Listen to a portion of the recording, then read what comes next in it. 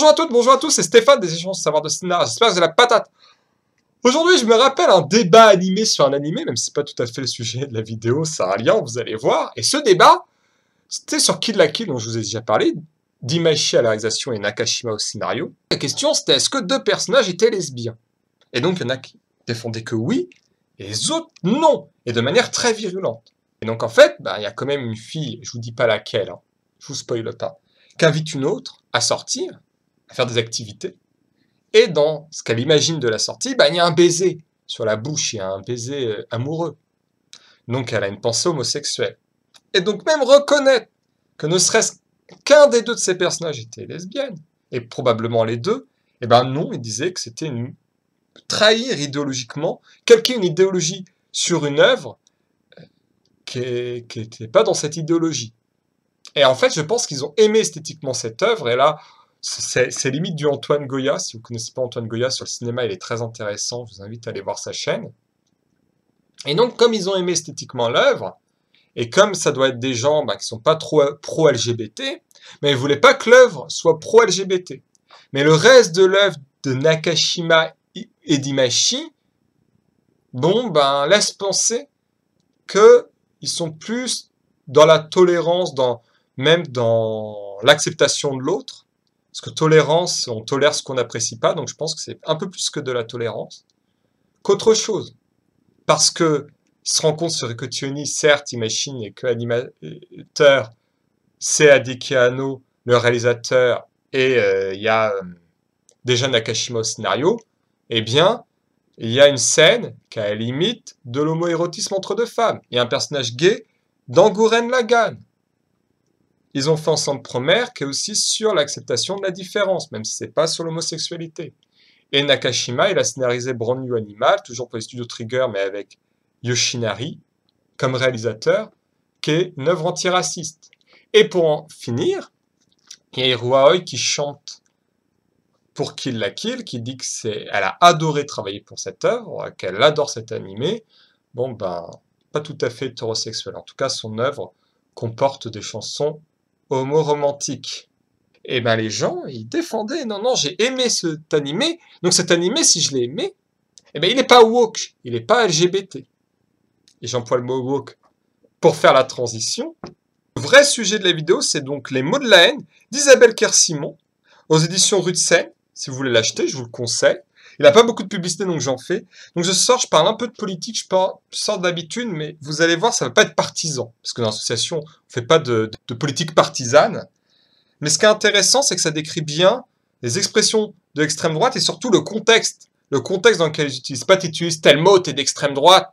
Hein, c'est pas les débats Twitter la mort moelle où des dirigeants de gauche radicale se font traiter de droitard par des gens qui ont des idées moins radicales parfois, économiquement par exemple, mais qui vont pouvoir passer pour quelqu'un de droite, juste parce qu'il a dit le mot qu'il fallait pas. Là, c'est des expressions vraiment connotées pour la plupart, parfois détournées de la gauche, mais souvent des expressions vraiment d'extrême droite, et surtout, dans quel contexte? Et c'est un travail rigoureux. Ça, vraiment, j'y tiens. C'est pour ça que pour moi, ça travaille sur l'esprit critique, et donc je vais mettre dans ma playlist sur l'esprit critique cette vidéo. C'est que c'est vraiment rigoureux. Oui, hein, euh, les, s'il y a des gens d'extrême droite qui tombent sur ce livre, il s'appelle Les mots de la haine, c'est quelqu'un qui est contre l'extrême droite, mais vous devez admettre qu'elle dit quel penseur d'extrême droite introduit tel concept? Elle cite Maurras, elle cite Alain Soral, parce qu'Alain Soral, il aime le logos, donc il détourne des expressions comme libéral-libertaire qu'il a volé à Kouskar, penseur communiste. Rendez le concept de libéral-libertaire à Kouskar, parce que Soral fait dire à Kouskar ce qu'il n'a absolument pas dit c'est pas le seul. Hein. Donc il y a des penseurs d'extrême droite qui sont cités. Il y a évidemment des gens qui ont décrypté l'extrême droite, parfois pour la combattre.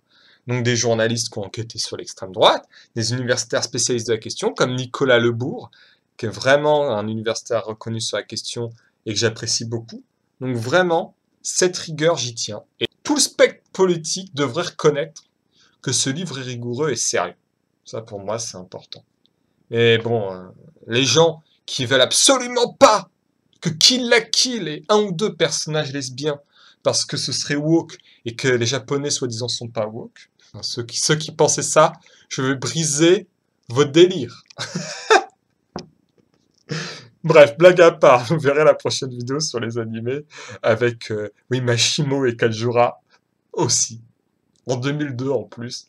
Pour revenir à nos moutons, en plus, sur la forme, c'est un livre agréable à lire, il a vraiment une belle écriture. Peut-être au début, vous allez avoir un peu de mal parce que vous allez voir des mots, dire vous verrez plus loin euh, ce mot-là qui, est lié et tout ça, mais quand vous avancez, c'est de plus en plus facile à lire parce que vous faites le lien entre les concepts et les mots.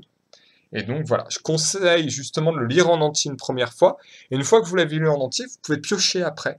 Tel mot, tel mot, si vous le croisez, et tout ça, oui, euh, vous rafraîchir la mémoire. Et donc, pour vous donner un avant-goût, elle a mis en, libre accès sa partie sur George Orwell. Hein, c'est 4-5 pages dans un livre de plus de 200 pages, mais elle vous partage. Et comment l'extrême droite détourne George Orwell. Et donc, ben, c'est intéressant. George Orwell, il fait débat euh, chez les communistes, mais c'est sûr qu'il euh, ne disait pas ce que l'extrême droite lui fait dire. Et donc, c'est très intéressant. Ce qui est important, c'est que, comme dans notre association des échanges de savoir de la laïcité nous intéresse beaucoup, il y a un néologisme qui est créé les néolaïques. Alors, néolaïque n'a plus grand chose à voir avec laïque, vu que c'est des gens qui se réclament de la laïcité, mais qui l'utilisent surtout pour taper sur les musulmans. Mais, et donc, l'exemple le plus probant, parce qu'elle la cite beaucoup, c'est Céline Pina, qui a vraiment une rhétorique qui se rapproche de plus en plus de celle de l'extrême droite pour taper sur les musulmans. Hein. Et je ne parle pas de taper sur l'islam en tant que, que doctrine. Je vous parle pas de critiquer la religion, qui est le droit. Moi, je suis pas religieux. Voilà, vous pouvez dire ce que vous voulez sur la religion. Vous pouvez même faire des blagues. ça se trouve, ça me fait rire. J'arrive sur des blagues sur la religion. Mais là, c'est pas la question. La question, c'est sur les pratiquants de cette religion, pour leur taper dessus. Et donc, Céline Pina, c'est un bon exemple. Elle vient du PS, mais elle a fini chez Michel Onfray. Alors, elle cite également le printemps républicain. Il va moins loin que Céline Pina dans le délire, mais c'est vrai que parfois, euh, ils sont euh, plus que limites. Hein. Par exemple, ils ont eux aussi, comme Alain Soral, détourné de concept, par exemple, euh, l'insécurité culturelle, ce que lui fait dire Feu Laurent Bouvet n'est pas du tout ce que dit le géographe M. Guilly, qui n'était pas d'accord, qui dit mais c'est pas ce que j'ai dit. Ils ont fait beaucoup de polémiques, etc. Et surtout, ce sont des personnes, les néolaïcs, qui sont extrêmement agressifs envers leurs contradicteurs, et ça a été démontré justement dans une enquête journalistique de Slate, je vais vous la partager euh, également, sur laquelle Isabelle Kersimon est l'une des autrices, que bon, ben, il y a eu des campagnes d'harcèlement qu'ils ont déclenchées.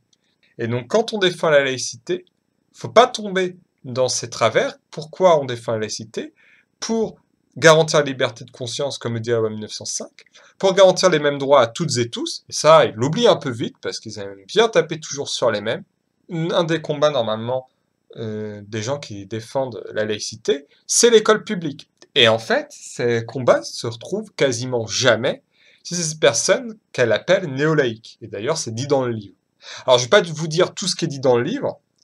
Voilà, je ne vais pas trop donner mon avis politique, mais comme je vous dis, tout spectre politique devrait s'accorder sur le fait que Les mots de la haine d'Isabelle Kersimo est un bon livre, bien écrit, avec un contenu bien développé, avec une pensée, elle développe une pensée, mais à partir de sources, un travail rigoureux.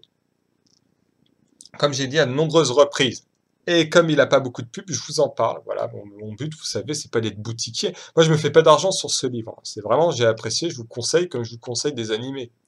Sur ce, je vous dis à très vite. N'hésitez pas à liker, partager la vidéo et n'hésitez pas à lire les mots de la haine. Au revoir et à très vite.